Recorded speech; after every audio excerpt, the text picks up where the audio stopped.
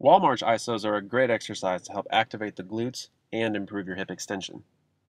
Set up with the feet slightly behind the hips, hands on the wall. Tighten one glute while driving the opposite knee up.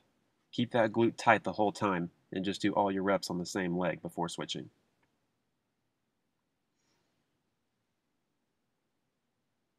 Thanks for taking the time to check out this video. For more information on developing stronger, better looking glutes, check out the article Get a Better Butt at personallyfitdayton.com.